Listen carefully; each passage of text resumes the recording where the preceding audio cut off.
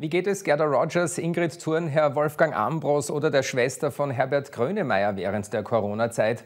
Stimmenimmitatorin und Comedienne Marion Petritsch weiß es in unserem Kulturbalkon. Guten Abend, meine Damen und Herren. Ingrid Thurnherr begrüßt Sie heute live bei Steiermark heute. Wir haben heute prominente Gäste an unserer Seite, denen sie ihre Stimme verleiht. Die Grazer Kabarettistin Marion Petritsch parodiert alles, was Rang und Namen hat, etwa Vera Russwurm oder Gerda Rogers. Als Steinbock-Dame halte ich mich natürlich ganz stark an die Richtlinien. Ja, mein Gott, ich war im ersten Haus, ich war im dritten Haus und ich war auch im elften Haus. Ich war zu Hause bei meinen Hundern, hin und wieder bin ich einkaufen gegangen mit meinem großen Wagen. Schon im Kindergarten hat sie andere Kinder unbewusst imitiert bei der zum Beispiel einen Lispler gehabt hat, dieses Kind, und ich habe es dann meiner Mama vorerzählt und ich habe dann gedacht, die lachen alle. Ich habe es gar nicht witzig gefunden, weil für mich war das ganz normal, das korrekt wiederzugeben. Einer breiten Öffentlichkeit ist sie vor allem durch ihre Rolle als Fischgrete bekannt geworden.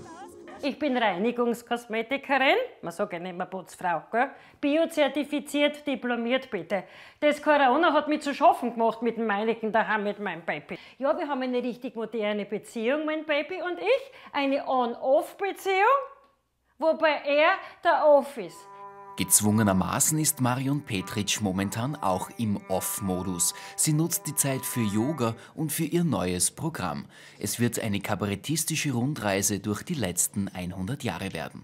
Also eine musikalische Rundreise und wie die Menschen sich auch verändert haben, wenn sie zum Beispiel Dates ausgemacht haben, wie das geklungen hat 1950 und wie das, wie das geklungen hat, äh, jetzt, wenn du jetzt was ausmachst. Also diese, solche Geschichten werden dabei sein, ja.